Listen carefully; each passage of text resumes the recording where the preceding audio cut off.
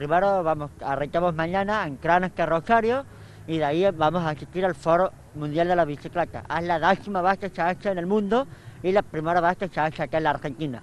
Y bueno, me invitaron y voy a hacer presencia. Desde ahí arrancaremos en bicicleta ya hasta Ushuaia, hasta el fin del mundo. Bueno, eh, todo por Ruta 40, este nuevo viaje.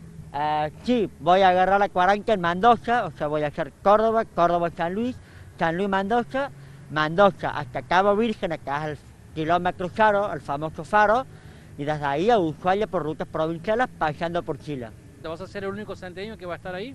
Ah, sí, voy a ser el único santiagueño y para encontrarme con gente que comparte lo mismo que yo hago, um, incentivarnos, que hablar y ir para plantear la ley del, del macro y medio, para la construcción de ciclovías, que son los temas principales que se va a tocar en el foro.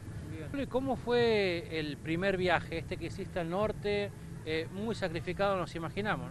Uh, fue muy sacrificado, dado que en el norte tengo muchísimas subidas, por eso quise hacer la primera parte norte para probarme y fue un viaje hermoso, la verdad, eh, rodeado de paisajes únicos, personas increíbles, conocí lugares que no sabía que existían en la Argentina. Eh, por ejemplo, voy a destacar dos lugares que para mí fueron los más hermosos, que fue el Cerro Huancar, que es un médano de Nara que se encuentra a 7 kilómetros de Abrapampa, y el Paso Abra de la Cay, que es por la Ruta 40, el punto cabra más alto de Sudamérica y el segundo del mundo, con 5.000 metros sobre el nivel del mar.